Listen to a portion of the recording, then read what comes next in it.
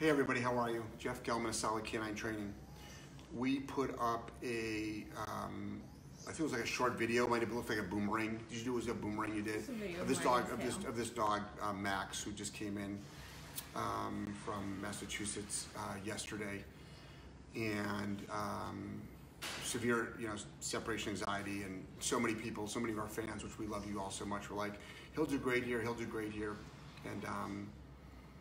What I really wanted to discuss now that we've spent a night with him, Joelle spent the night with him, she was up all night, um, as well as we have all the background information of the dog and um, what the dog is doing. And the more important thing is what the dog is doing with the family.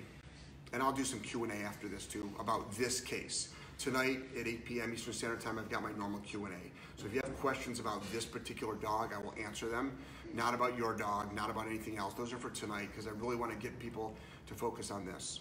So um, last night, the dog came in yesterday. Last night, Joelle was up all night long because the dog kept um, destroying the crate, trying to get out of it with its nails and its teeth. So it was pretty much it was pretty much a bloodbath last night. So the crates are secure. So the thing about using a secure crate is the dog can't get out of it, but they can ruin their teeth and their nails trying to get out of it. So they try to break out of the, the crate, but, um, but, but but they can't get out of the crate. So right now, for the last three or four years with the owner, they have gotten no more than 45 minutes of sleep at a time. The owners are rotating, um, sleeping in one room and another room with the dog because the dog can't be in a crate. So the dog is out of the crate, which I don't blame them. I mean, if you have a dog that's breaking out of the crate, I get it. I mean, they have tried. They have consulted with experts. They've had trainers. They've had behaviorists. They've tried. It's no, it's not lack of um, any other. Let's make sure this isn't my gate company. No, um, to effort on their part, budget on their part, effort on their part at all. So what happens is every 45 minutes the dog gets up, it shits and pisses everywhere in the house. So you've got a dog that destroys the crate, self-mutilates, shits and pisses in the house, and can't lie still for more than 45 minutes at a time for the last three to four years. The, the family cannot go out at all, so they can never leave the dog alone. They always have to have the dog with another human.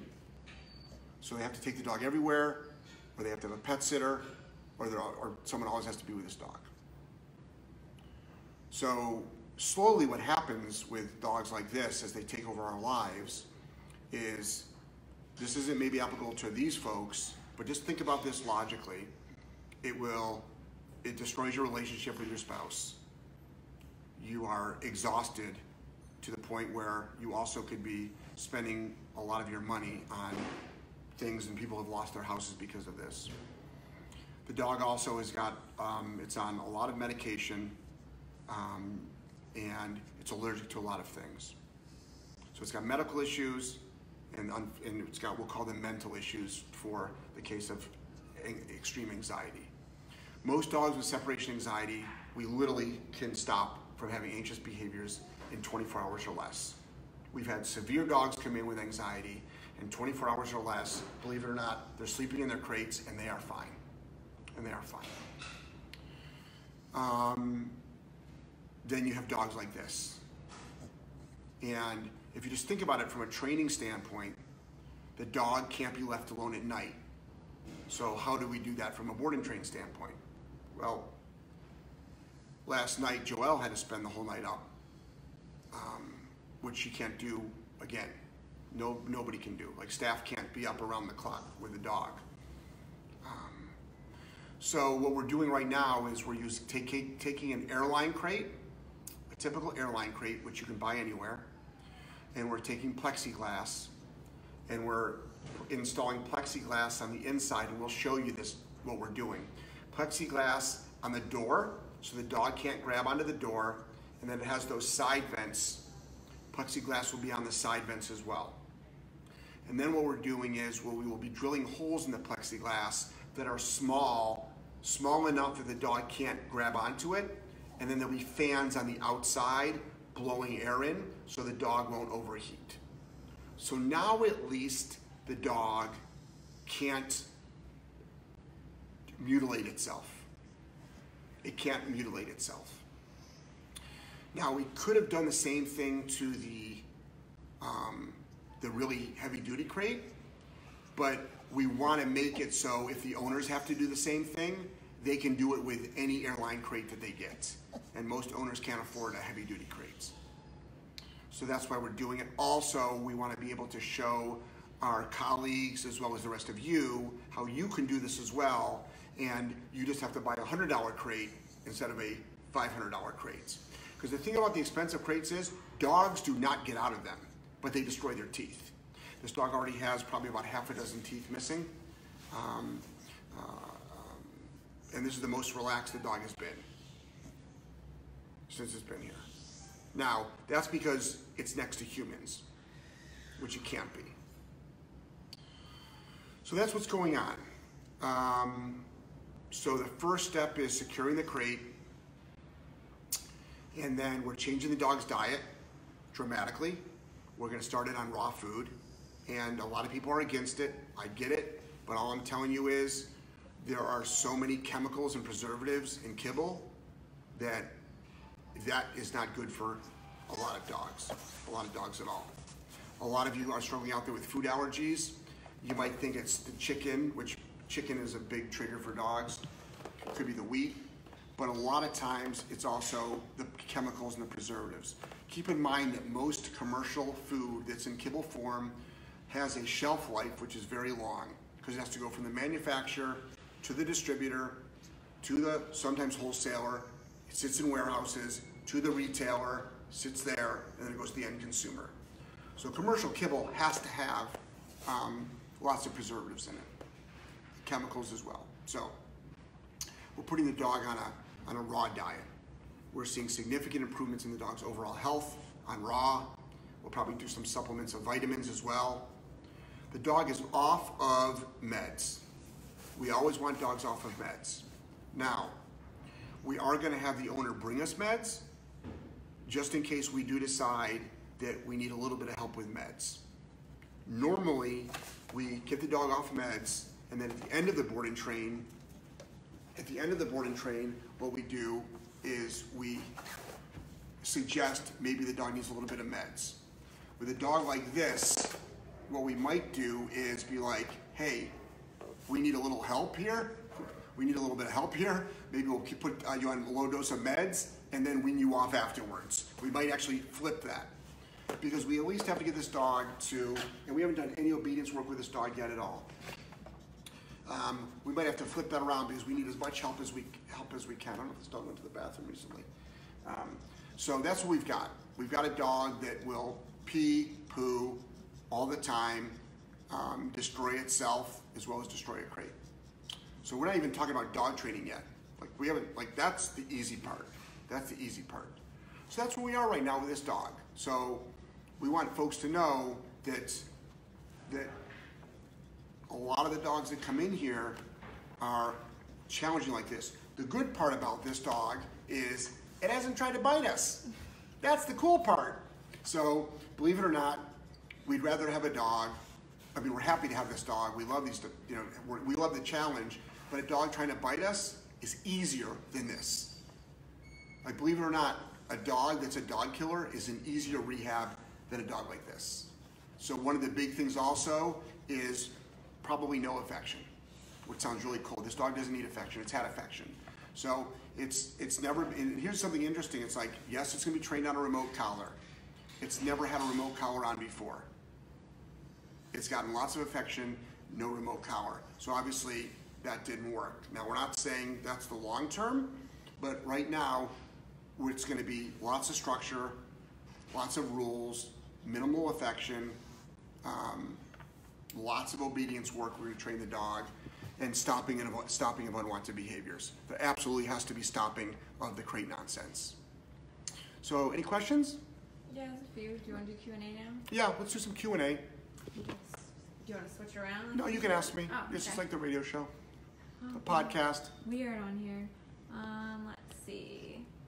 Is there a trauma for anxiety separation? Did the owners express this? Trauma, what do you mean? Yeah, the owners have been traumatized. Do you mean the dog? Has the dog gone through trauma? No. The owners are going through trauma. The owners are going through trauma. So a lot of people think that there was some event in the dog's life that, is, that triggered this. Historically, we're not finding that.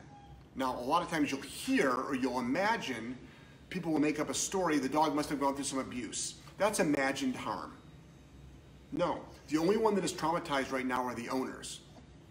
The owners are traumatized. Joelle is traumatized today. That's it. This dog has not had trauma.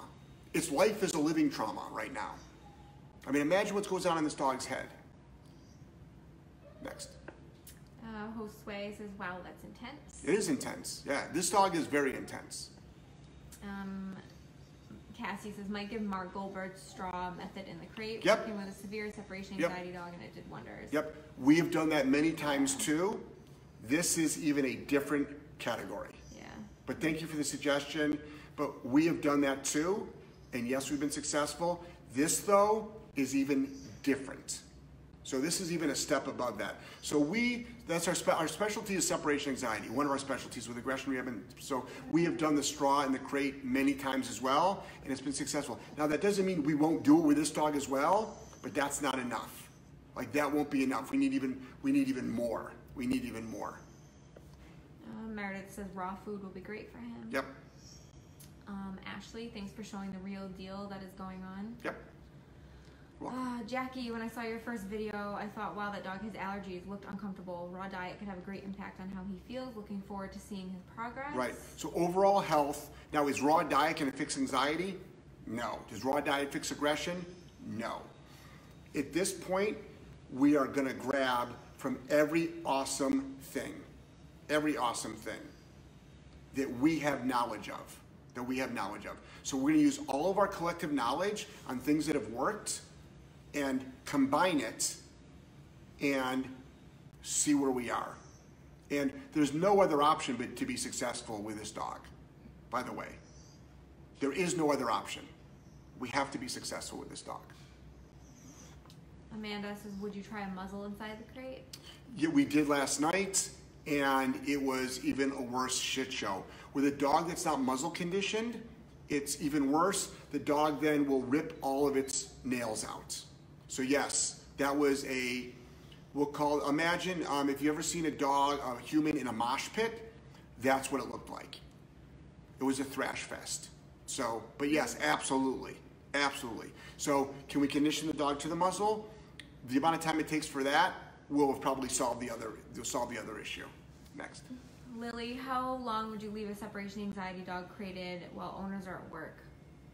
Well, if they work for eight hours, eight hours.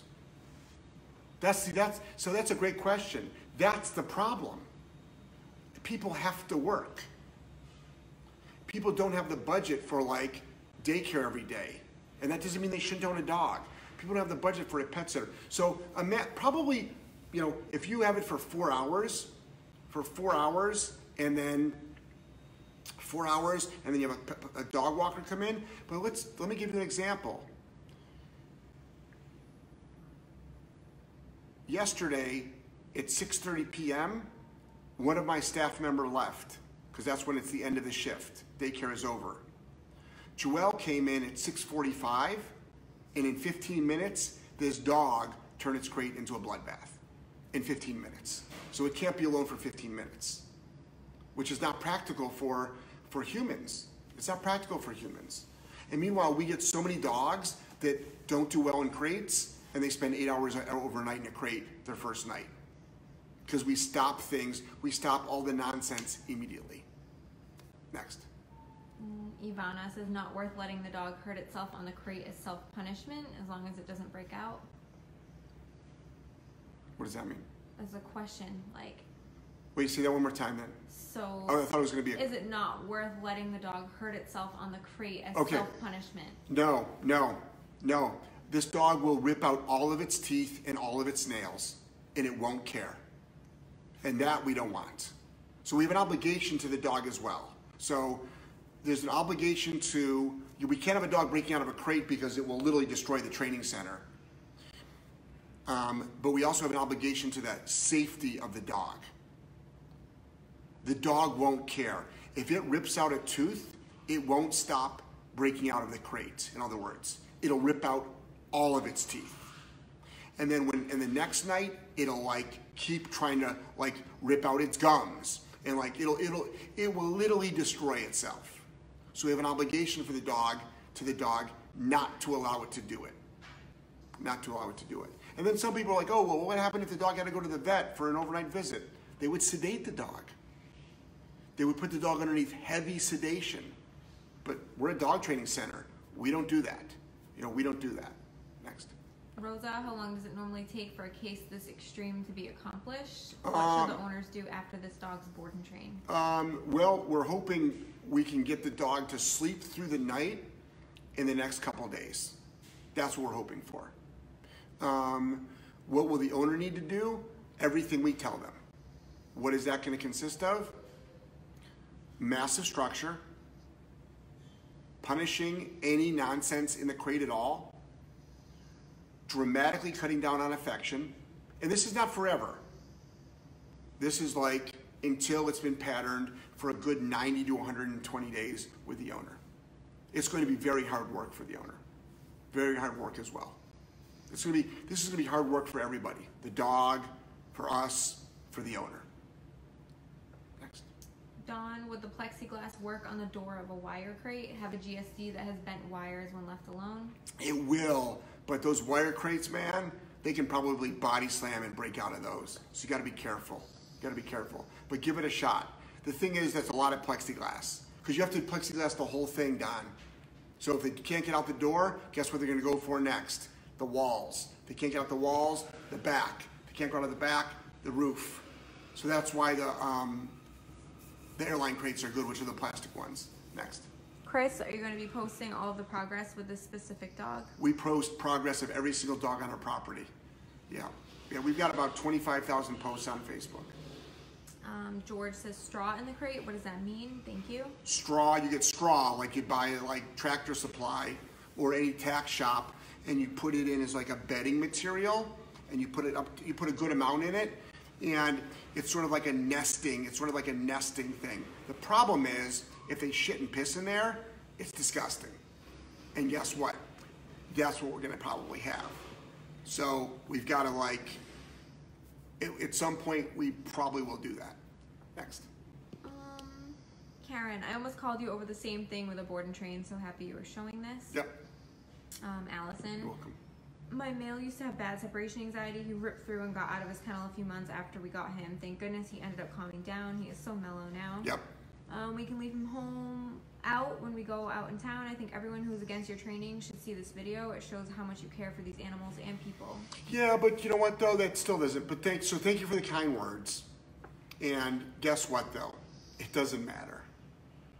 It doesn't matter. When people are married to an ideology, nothing matters, especially the truth. Next. Um, Stephanie, how long do you expect it to take the dog to quit soiling the crate? He didn't soil the crate last He, night. last night he didn't soil the crate at all. So that's the cool part. He's been shitting and pissing for three, four years a lot. Last night he didn't do it at all. So we are making some progress. Brittany says, would correcting the dog harsh with an e-collar for any nonsense in the crate help? historically it does every single time with this dog it does not yet Amy says, what crates do you recommend? well we use well we're a kennel so we use commercial grade crates. But you know an airline crate a you can do an impact crate you can do a um, a, a, um, a wire crate. It all depends. I mean it all depends on your dog. But the, the thing is the, the stronger the crate the more they are to and if they keep trying to get out of it they destroy their teeth. And then you're like you know how expensive it is to like vet bills for that stuff it's not cheap Francis, um, how long did it take for this dog to get to this point? Um, it's been like this probably for the. It's been like this to some degree for. They got the dog almost four years ago, pretty much from the beginning. It was already missing some teeth when they got the dog. So it's probably been a slow progression over the last three to four years, but no, I think they've said they've been struggling with this for three years Mhm, Since I got him. since they got him. Um, Lynn, what is step one for this dog? Where do you start? I've already described it. Um, Go back to the go back go back to the very first second that we played that we pressed record. Next. uh, me, Jean, the dog's parents sound awesome. Most people would abandon the dog after a week. Well, you know, this is the thing though. So, yes, I agree, but also I have a lot of empathy for people. They don't abandon the dog necessarily, but but but it's all it's all on how we word it. I have a lot of empathy for families that would surrender a dog like this or have to put the dog down. I have a huge amount of empathy for that. There is not many people that can help with this. That doesn't make us great. But I mean, most dog trainers, like, could you imagine like going to a a non-boarding train? First of all, if you don't do a do boarding train, it might be very hard to do this because you have to take the dog out of the element where it's where it's at. You know. So, and the last thing I want this dog to do is be between, be between my legs right now, but I'm trying to talk at the same time. So, um, but I have a huge amount of empathy for people that have to surrender a dog like this because, as much as we care about dogs, when our relationship with our partner and our family is being dramatically affected, that's something to start thinking about. That's a conversation to start thinking about. When we can't go to work and generate revenue to pay bills, that's something to start thinking about. I don't believe any dog should have power over a human like that. And a lot of people say, well, a dog is forever. I'm like, I get it. I get it. I get it. I'm not saying don't try. But what I'm saying is we have to be super careful about the sacrifices we make as humans and be responsible. Like I'm a father, and let me be old school for a second here. I have an obligation to take care of my family. And yes, I have an obligation to be a good dog owner of my personal dogs, absolutely. But my family will always come first. Next. Next. Um, do remote collars work long term even when owners aren't present to trigger a correction when the dog is freaking out? Or would a bark activated collar be better to keep it quiet while owners are away? Yes, yes. You can. What you do is you can condition the dog on the remote manually, switch to a bark collar. Yes. Uh, what about traveling with the dog? He's destroyed several doors and rugs in friend's house trying to get out when I've left him. Sounds like think that's her personal dog. So you for your personal dog, it's like yeah, you have to fix this problem. I mean, you have to learn how to crate your dog. Your dog has to be. You have to get your dog to be okay in a crate. Do you have any understanding why one dog might have this response to crates while others do great? You mentioned triggers aren't necessarily a true reason. Um, histor- all I can say is this. Why is this dog doing it? Because nobody was able to stop it. I'd like to simplify it. I would like to simplify, and trust me, like, I know there's a book on, like, what's the book? Barrier um, containment phobia. Okay? Most dogs that are, that come to us with vet records that say containment phobia or separation anxiety, we literally fix with one e-collar correction. Literally, you're being a jerk in the crate. No, correct. The dog goes, well, that sucked. Okay, I'll just lie down. Not shut down. Lie down. Go to sleep. Done. Literally, one and done. Other dogs, maybe a couple of times.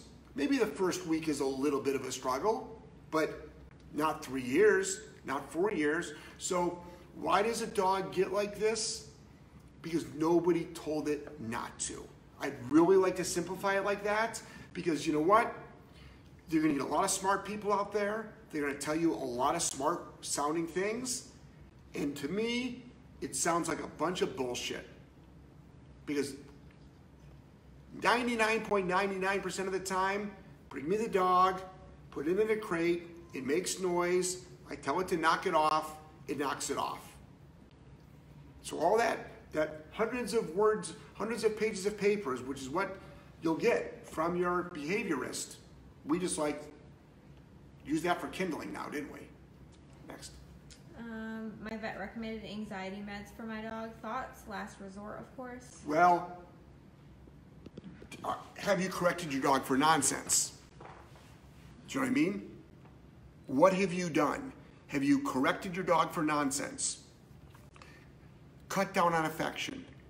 Massive structure outside of the crate. Hold your dog accountable on anything. No free roaming. Lots of rules. Again, cut down on affection. Stop talking to the dog. Watch your physical touch. Get a dog to be away from you a lot, not next to you. Nonsense in the crate, overwhelming consequences to stop it. Remote collar, bonker, hit the side of the crates. And all the all the people out there that are going, no, that'll make it that'll give the dog a negative association in the crate. Okay. Let's have full clarity right now. This dog has never been punished in a crate in its life. It's never had a remote collar on. It's never had a prong collar on. It's never had a bonker used on it. And guess what? It's destroying its teeth, its nails, and crates. So, it already has, this is actually an extremely important point. This dog came to us with a horrific association to containment. We were not in its life. Nobody like us has ever been in its life. It's a very important message. We showed up to the scene of the crime. So, what do you do? You learn to apply a punisher. And until you've done that, you really can't say you've tried everything. Now, am I anti med? Absolutely not. But I do believe we over medicate our dogs and we over medicate our children dramatically. So, everything, have you made it really suck for that dog to be a dick in the crate? Next. And yell, I'm not talking yelling. You never have to raise your voice. You never ever have, you, have, you don't even have to say no. You actually never have to talk to the dog at all to stop any of this stuff. Next. Did you guys do an intake video session with the owners? Yeah, but there was pretty unevent. The dog was sort of like lying here doing nothing, from what I understand. Like the dog wasn't breaking out of the crate in the video. Next. Can anxiety cause my dog to not want people to approach him when first meeting him? Um, maybe, but I wouldn't have my I wouldn't have people approach my dogs anyway. So what is a policy? Don't have people do that. But let's stick to this dog. Yeah, this is like Q and A only for this dog. Yeah, this is the Q and A for some of these questions, guys, Yeah, for that thi- reason. this is Q and A for this particular dog. Tonight is Q and A. This is a very interesting case. Um, let's see. And if you're just jumping on, you can watch it from the beginning. So Joelle is going to skip over a lot of this stuff. It's not that we don't want to answer your questions. It's not that I don't want to help you, but I've got a Q and A tonight. I do Q and A's three times a week. I really want to focus on this case. Michael says you have so much free training with actual cases for people to not see the reality of what you were saying. You have too much free training. Yeah. You can't have too much. Thank you, Michael. Glenda says you were spot on with everything. I just started watching you a couple days ago, and I really like what I'm seeing and hearing. I'm a breeder, and I'll be following you to increase my knowledge. Thank you. Awesome. Love having educated breeders out there. Um, Renee, how important is exercise and obedience training to a dog with separation anxiety? It's not, it's, it, okay. How can I word this properly? Okay, it has nothing to do with it. Now, yes, you have to exercise your dog. Yes, you have to train your dog. But if I ran this dog for 10 miles and, it, and if I taught it 30 commands, would the anxiety go away? Nope. Nope, it wouldn't. And if it would, that's what we would do. Now, is this dog going to get exercise? Yes, it is. Is this dog going to get obedience training? Yes, it is. But if, if that's all it took, All we're seeing is all these dogs getting lots of exercise, lots of obedience training, and they're still struggling struggling with anxiety. Next. Uh, would you use super small crate to stop the pooping and peeing? Yes, but some dogs don't care. Some dogs don't care. We have dogs that will roll in their shit. They're called dirty dogs. They roll in their shit and their piss. They just don't care. Next. So, what is your plan for this dog? I've already I've already talked about that at the very beginning. Watch from the beginning. Um, will the anxiety start again when he goes home? Possibly the dog will regress. Yep, that's always that's always a possibility because there's triggers at home. Yeah, but if we can stop it here and we can start patterning the dog, and then we can teach that dog what no means, and the owners are going to get lots of training, then that's the the the most the most chance the greatest chance of success. Next.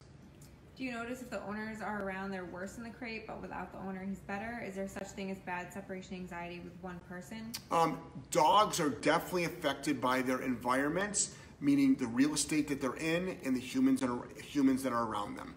But guess what? That's the, the dog can't live here. So our job is to get the dog to the best it can be here, pass on that information and knowledge to the owner, train the owner and help them reinforce it, be here to support them and answer all their questions, and help work them through their struggle. Next. What's your first step on gaining a relationship with the dog with separation anxiety? We're not trying to get a relationship with this dog. You don't need a relationship with the dog. It's not connected. We don't need a relationship with this dog at all. None of us will be, okay, the dog will be with us for at least five weeks. Of course, we will get a relationship with the dog. It's inevitable. But we're not trying to build a relationship with this dog. We're trying to rehab the dog. You don't need to build a relationship with the dog. That actually can work against you. Got it? Does that make sense? The bigger the relationship with the dog is, the worse the separation anxiety can be. You actually don't want a relationship with a dog. Next. In your experience, is it common for pits and pit mixes to be very anxious in general? No, German Shepherds, if anything. Probably the, the German Shepherds, probably right now, are the most anxious breed that we're seeing. Um, does it have human or dog aggression? I don't think so. Nope. Um, have you tried to correct this dog with an e-collar in the crate? It did not work. Um, would you contemplate limiting the food water intake after a certain time? For example, no food after 4 p.m. in order to help limit the urinating, defecating in the crate. It's, it's, you know, that's, you know, we, we're really good at monitoring food and water. That's not going to stop the major issue. So, for instance, last night, there was no piss or poo in the crate, but it was a bloodbath. So we've got we've got a bunch of different multiple things, a bunch of different multiple things. Um, is this specific dog a welcomed challenge to keep you on your toes for extreme case, cases such as these? I don't need to be kept on my toes. Life keeps me on my toes. We have, this is what we do for a living. We don't take easy dogs. Every dog that comes in here is a challenge. Every dog that comes in here is a challenge. I'm excited to have this dog, not to keep me on my toes and not to not to become a better dog trainer. I won't be working with this dog mostly. My staff does. I'm the guy with the big mouth. Um, my staff is the one. Like Joelle was the one that was up last night. I was home in my bed. I don't sleep much, but I slept more than Joelle did last night. Um, this is, I'm excited to have this dog for a couple of reasons. Number one, to help the owners. Number two, to educate massive amount of people that are struggling with the issues like this that are that are um, on any realm of the extreme of this. Um, have these owners consulted other trainers? Have they had any conversations about euthanasia? The- The euthanasia question we don't ever discuss at all. Um, those are private conversations. Um, yes, they've consulted other professionals, and obviously it has not worked. Can separation anxiety lead to a bite? Once the dog learns to relax, will it help the other aspects of his behavior? Can separation anxiety lead to a bite? It's two separate issues. Next. Trying to find one. Um, It's fine if there isn't. when you started the separation anxiety training, is the crate in an isolated area? Yes, it's in an isolated area, yes. It's only, the dog's only been here for a day, guys, last night.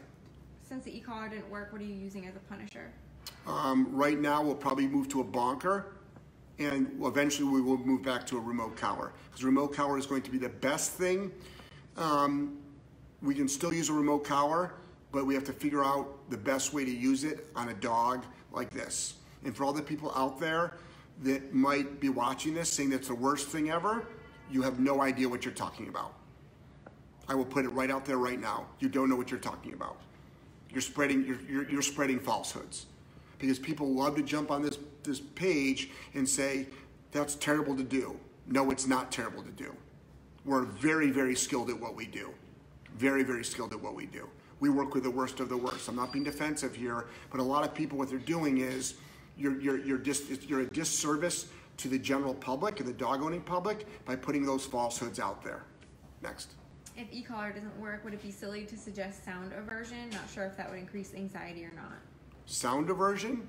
Like what? Music? There'll be music being played in the in the in the kennel room where the dog is. Um, so since the e-collar doesn't work, you will plexiglass the inside and just allow the crate to do the training. No, no, we won't. We still will do the training. We're not going to just leave the dog there and figure it out. We're not going to just leave the dog there and have it figure it out itself. But we can't have somebody going to the crate every five minutes to keep this dog from ripping out its teeth. So the crate will give us a level of safety for the dog, and then we'll also be incorporating multiple things for training. And the remote collar will work. We're getting a lot of repeat questions, guys, so I'm just skipping. Yeah, so any of the repeat questions, you've probably already been asked, just watch this. It's not that we're ignoring you. When you said you were excited, oh, this is an interesting one. When you said you were excited to have the dog, you said that you were excited to help the owner and to help educate others. You never said anything about helping the dog. Why? because I'm more owner focused. First of all, and I'll tell you why. I am so focused on the human and the human pain, and I'm so focused on all the other humans out there that are struggling. That is why. And that, that comes across as me being anti dog. So a lot of people love to throw that at me. I'm not saying you're doing that. I'm not saying you're doing that, so don't read this wrong. But a lot of people feel that because we're a business and we charge money, and that um, I charge for Skypes, and that I make statements like I'm excited about helping the owner, they assume I'm anti dog. And that's the farthest thing from the truth. The farthest thing from the truth. But the real sufferers here, the true sufferers here, are the humans right now. That's who's suffering the most, are the humans. That doesn't mean this dog is not suffering, but it's not suffering like the humans are.